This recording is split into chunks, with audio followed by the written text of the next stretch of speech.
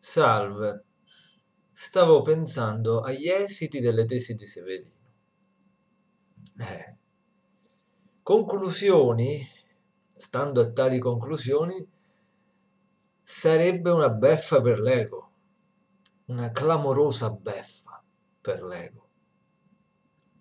La maggior parte delle persone, infatti, vive con la convinzione di essere solo se percepisce, sperimenta, vive gli altri come altro da sé, il mondo come altro da sé.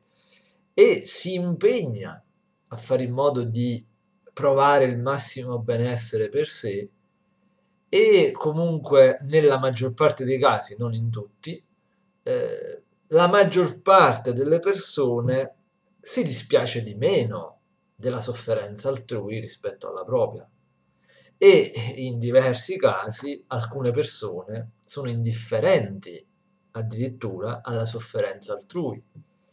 In altri casi, in diversi altri casi, addirittura diverse persone sono felici del disagio e del dolore che gli altri provano.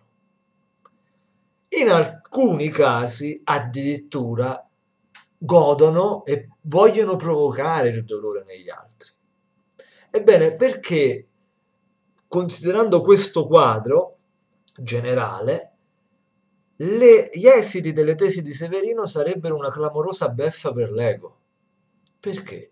Perché secondo quegli esiti, dopo la cosiddetta morte, che non sarebbe la fine della vita, ma sarebbe il compimento dell'esperienza umana, tutto il vissuto proprio riapparirebbe e rimarrebbe stabile eternamente nella propria coscienza, in modo presente, attuale, tutti gli istanti di vita come fotogrammi di una pellicola.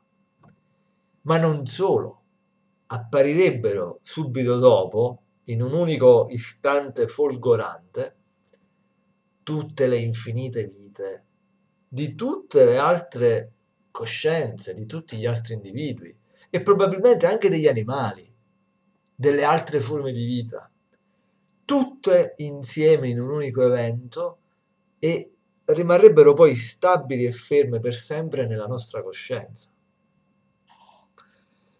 E allora tutte le gioie, tutti i dolori della propria vita e di quelli, eh, di quelli vissuti da tutti gli altri rimarrebbero per sempre poi nella propria coscienza. Ricordiamo cerco di, di, spiegare brevemente come si arrivi a questo esito e poi cerco anche di, di, eh, di motivare il perché sarebbe effettivamente un, una beffa clamorosa per l'ego, quindi per la componente egoica. Allora, ehm, intanto a queste tesi si giunge attraverso un fondamento incontrovertibile che è la struttura originaria, che è l'opposizione del positivo e del negativo. Siccome Viene fuori che ogni essente è se stesso e non altro da sé, ogni fotogramma, ogni momento della nostra esperienza è una configurazione, uno stato della realtà che non può diventare altro da sé. Eh, viene fuori, eh, segue che ogni aspetto della realtà e anche la coscienza stessa, che è il luogo nel, quale, nel quale appare la manifestazione, deve essere eterno, tutto deve essere eterno, perché altrimenti vi sarebbero delle contraddizioni impossibili, assurde, tra cui l'identificazione tra l'essere e il nulla, tra ogni ente e il niente, e appunto il nulla come dimensione contraddittoria, esistente, essente. Per evitare queste contraddizioni, Severino ha mostrato la necessità che eh, il nostro piano finito, empirico, non sia l'unico, ma che esista una dimensione superiore che è chiamata della dimensione, la dimensione dell'apparire infinito, dove tutti i momenti della realtà, tutti gli aspetti, tutte le cose esistono da sempre e per sempre. Quindi nella nostra esperienza ciò che appare e scompare non è che appaia e scompaia dal e nel nulla, ma tutto proviene da questa struttura eterna nella dimensione dell'apparire infinito niente inizia e niente finisce, ma tutto è simultaneo, tutto è compresente. E è in questa nostra esperienza finita che appare processualmente quel che esiste tutto insieme nell'apparire infinito, dove vi sarebbe la coscienza infinita del tutto.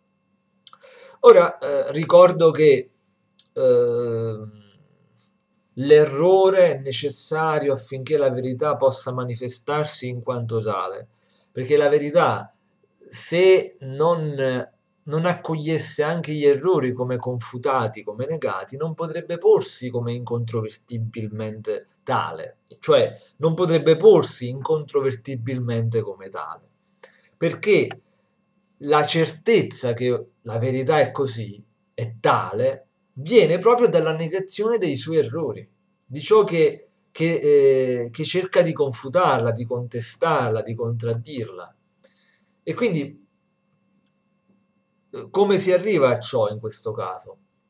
Il divenire perché risulta impossibile? Perché tutte le obiezioni, il divenire inteso nichilisticamente come trasformazione e passaggio dal non essere all'essere, dalla non esistenza all'esistenza e viceversa.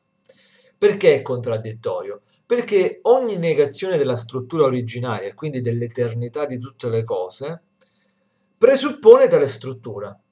E siccome la presuppone come suo fondamento, da tale fondamento è, risulta negata. E quindi abbiamo l'autonegazione di queste obiezioni, di tutte, in quanto tutte per porsi devono presupporre ciò che intendono contraddire, che intendono negare. Ora, noi quindi, secondo la verità dell'essere rilevata da Severino, saremmo in realtà, anche se inconsciamente, cioè non lo sappiamo consapevolmente, ma il nostro stesso inconscio è la coscienza infinita. Quindi in realtà la, la vera realtà effettiva di tutto e di tutti sarebbe l'apparire infinito. Ora questo significa che il, lo, lo, sperimentare questo contesto nichilista di una realtà separata, divisa, isolata, per quello Severino chiama questo contesto terra isolata, sarebbe l'errore, l'errare, ciò che è necessario appaia affinché con la sua confutazione, grazie alla sua confutazione, possa poi manifestarsi nell'apparire finito del nostro piano la concretezza della verità, ovvero che noi non siamo tutto questo. È tutta un'illusione che però appare veramente ed esiste veramente, ma esiste perché deve essere oltrepassata. Ora, per superare concretamente questo isolamento, cioè il percepirci come una parte del tutto isolata, separata, eh, eccetera, eccetera, e superare il contesto della persuasione del nichilismo, del divenire, della trasformazione e dell'idea della morte come annullamento, come fine, eh, che crea angoscia, eh, eccetera. E per superare concretamente questo contesto è necessario esperire poi concretamente l'essere anche gli altri. Quindi questa sarà la, la, la, la rivelazione clamorosa che potrebbe sconcertare l'ego, anche se in realtà eh, l'ego sarà oltrepassato in quel tipo di evento e quindi non sarà più sconcertato. È dalla nostra prospettiva di chi è ancora in questo contesto e inizia a sapere quello che potrebbe accadere dopo e che secondo Severino e la struttura originaria deve necessariamente accadere dopo, è da questa prospettiva che si può provare paura, terrore, angoscia nell'idea di scoprire di essere tutti e di dover vivere concretamente l'esperienza di vita anche degli altri, con tutte le gioie e i dolori. Anche a me personalmente terrorizza questa idea e spero che, che, che sbagli Severino, spero che non ci tocchi questo evento eh, assurdo, indescrivibile, in, inconcepibile. Già solo la propria vita conterrà le gioie ma anche i dolori e, e mantenerle e provarle tutte insieme, mantenerle poi per sempre nel proprio essere, non lo so fino a che punto può essere una cosa eh, tanto gradita e lieta. Eh, poi dipende anche dalla vita che uno ha condotto, eccetera, eccetera. Però, a parte questo, già la, a me spaventa, per esempio, l'idea che una singola vita po- possa mantenersi per sempre eh, nella coscienza dopo, perché vi sarebbero poi per sempre anche i dolori, i dispiaceri, eccetera. Ma pensare a un'infinità di altre coscienze con tutte le loro gioie e dolori non è una barzelletta, è, qualcosa di, di, sconcertante quello che dovrebbe accadere. E, se non che non, non, non finirebbe qui. Questo sarebbe solo il primo passo verso l'oltrepassamento eh, del contesto nichilista, perché poi vi sarebbero infiniti altri piani di esistenza che ci attenderebbero, che dovrebbero poi apparire sempre in modo processuale e che sarebbero il perfezionamento, potremmo dire, l'ottimizzazione, il superamento, l'oltrepassamento delle contraddizioni, dei limiti e del dolore che abbiamo esperito in questo piano esistenziale. E quindi comunque eh, le gioie e i dolori che avremmo provato, lo stesso Severino dice che poi non sarebbero più gioie e dolori, perché lo stesso ego che le ha provate sarebbe oltrepassato, sarebbe superato. La volontà che sta alla base della gioia e del dolore sarebbe superata, quindi avremmo una specie di, cioè ci toccherebbe un'ascensione, un trascendere questa natura, questa nostra stessa volontà. E, e in ciò consisterebbe poi la gioia infinita del tutto, che nostra, nel nostro cerchio del destino eterno ma finito eh, consisterebbe in questo graduale aumento diciamo della gioia quindi attraverso eh, l'apparire di contenuti sempre più diciamo eh, ottimizzanti diciamo il quadro precedente non saprei come, come altro dire eh, e perché sarebbe una beffa, come dicevo io, dalla prospettiva appunto dell'ego? Ma perché la maggior parte delle persone, non tutte, ragiona se, presupponendo che noi, cioè presupponendo di essere un individuo unico separato dagli altri e di non essere mica gli altri. Quindi ragiona la maggior parte delle persone in termini utilitaristici, cioè pensando che che sia furba nel fare solo il proprio bene, non neanche immaginando il fatto che, che, che potrebbe poi toccarle sperimentare la vita degli altri. Allora, per quello dico la beffa, se, se, allora, se queste tesi no, venissero anche solo accolte come possibilità dalla maggior parte delle persone, io non so il mondo come, come diverrebbe.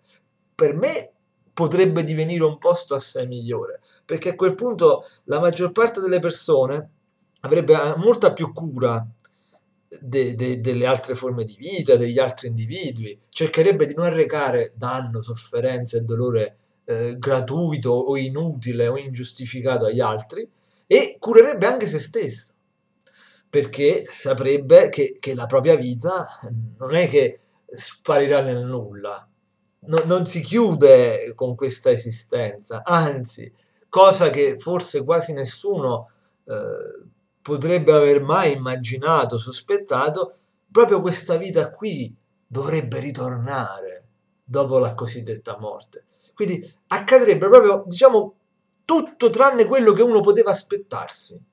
Con le religioni si dice che uno va in paradiso, va in un'altra dimensione eh, l'ateismo, il nichilismo dicono che dopo la morte tutto finisce, per l'eternità non si esiste più come coscienza, come individuo, l'individuo è finito, la coscienza è finita, anche se la materia poi continuerebbe, ma anche qui nel materialismo, nell'ipotesi del materialismo, si potrebbe prospettare una forma di eternità, perché se l'individuo fosse inteso come materia, la materia è eterna, cambia la combinazione, però vabbè, lasciamo perdere. Comunque l'individuo in quanto combinazione sarebbe annullato in quella prospettiva. E quindi tra l'ateismo e le varie religioni non, non, mi pare che ci sia una prospettiva del genere, dove invece tutta la, la vita propria di tutti gli altri per sempre. E sì, ci sarebbe pure un, un, altro tipo di piano, anzi infiniti altri piani, ma non sarebbero qualcosa che eh, andrebbe poi ad annullare, a cancellare questo vissuto qui, ma sarebbe qualcosa che si andrebbe ad aggiungere a questo vissuto qui, diciamo perfezionandolo, diciamo superando, facendo sì che si superino le contraddizioni e i limiti che si sono vissuti in questa esperienza. E allora, ecco quindi perché dicevo, ho ripetuto più volte che questa prospettiva potrebbe sembrare una grande beffa per l'ego, perché eh, la maggior parte delle persone vive la vita presupponendo che tutto ciò non sia neanche possibile, quando poi invece la cosa che mi sconcerta è che segue da argomentazioni incontrovertibili fino a prova contraria. E quindi non è una, una, una favola o un incubo, perché poi dipende dalle prospettive, anche se incubo non lo sarebbe in ogni caso perché appunto seguirebbero altri piani di esistenza che sarebbero l'ottimizzazione di questo nostro piano. Però eh, ci tenevo a esprimere questa considerazione. Certo, rimangono tesi, rimangono teorie, non c'è una conferma empirica, però per chi segue certi discorsi filosofici eh, può, può, risultare addirittura più evidente una dimostrazione di questo tipo che mostra la negazione del contrario. Eh, ricordiamo che queste conclusioni seguono sempre dalla necessità che tutto debba essere eterno e che l'intera realtà sia sensata, cioè che abbia un senso, non che sia insensata e quindi che corrisponda al contesto nichilista veramente, non solo parzialmente e illusoriamente.